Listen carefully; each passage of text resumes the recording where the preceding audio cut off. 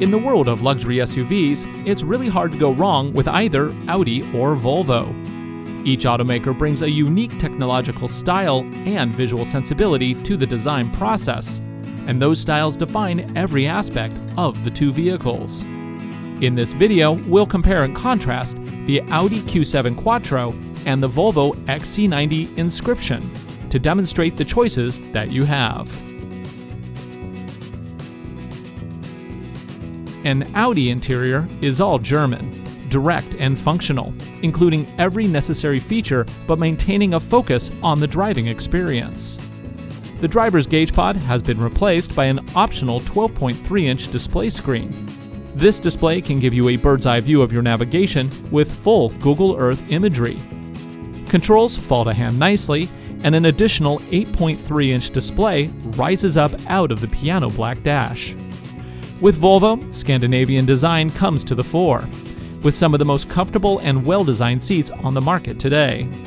The Volvo XC90 Inscription can carry seven passengers in comfort. Open grain wood trim conveys touch surfaces of authentic quality, and controls are very easy to use and intuitive.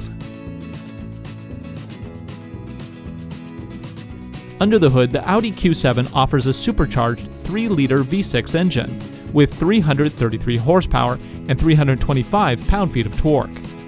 The Audi Q7 will accelerate from 0 to 60 in just 5.4 seconds and will tow up to 7,700 pounds.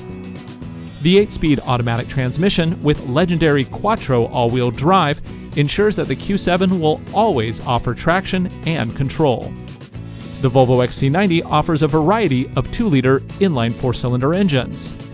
There's the turbocharged T5 with 250 horsepower and 258 pound feet of torque, or the turbocharged and supercharged T6 with 316 horsepower and 295 pound feet of torque. Soon, there will also be a hybrid known as the T8 with 400 horsepower and 472 combined pound feet of torque. In every case, the XC90 comes with an 8 speed automatic transmission and your choice of front or all wheel drive.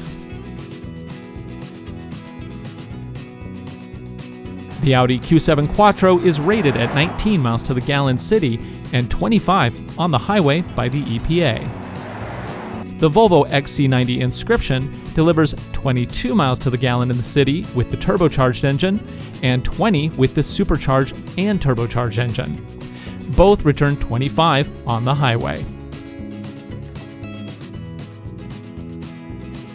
Audi's Q7 comes with Audi's Multimedia Interface, otherwise known as MMI. This is a single point of control for navigation, entertainment, interior environment, and ride dynamics. This is all controlled through a joystick dial on the center console. Volvo offers the XC90 Inscription with a beautiful 12.3 inch touchscreen display that also controls the optional Bowers & Wilkins premium sound system. Navigation and a heads-up display on the windshield are also optional, as is a 360-degree surround camera system. Both the Audi Q7 and the Volvo XC90 are all new with this latest generation. Both designs have received awards and accolades from reviewers. But the two SUVs are different enough that a discerning buyer will want to drive both to make an educated decision. Either way, you'll be getting one of the premier utility vehicles on the market. To see which fits you best, continue your research at AutoNation.com today.